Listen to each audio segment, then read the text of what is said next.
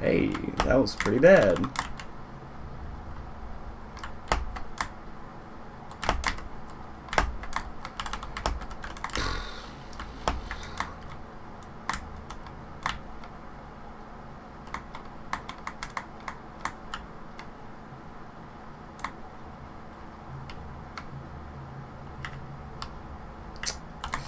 Neat.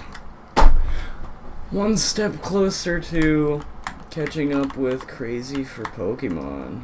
By the way, congrats on getting a R R8, my guy. I hope to see you there soon, maybe.